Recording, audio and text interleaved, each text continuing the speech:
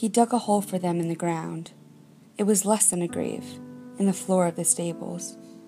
Nothing but planks of wood protecting them from the monsters on the hunt.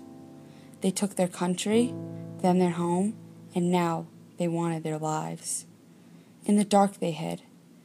All they had was memories of the sun, food, running free with the wind.